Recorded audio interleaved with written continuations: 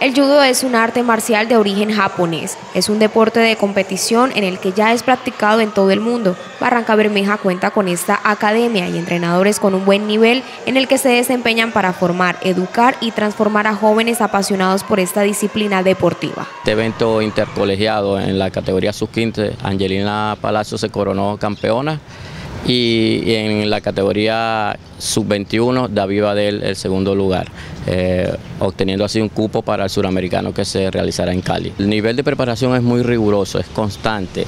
Eh, hay un equipo, vamos a llamarlo multidisciplinario, ya que contamos con un médico, eh, dos entrenadores, el apoyo de los padres, es decir, estamos constantemente trabajando con ellos diariamente. El único día que descansamos son los domingos.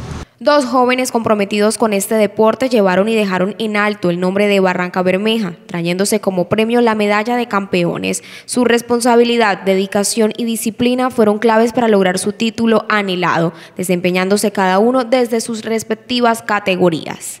Ha sido, ese desempeño ha sido muy difícil porque me ha tocado esforzarme, me ha tocado ir mucho a Bucaramanga para coger mucho nivel y de ahí podía representar a Colombia y también a nuestro departamento. Estaba muy tranquilo, muy enfocado.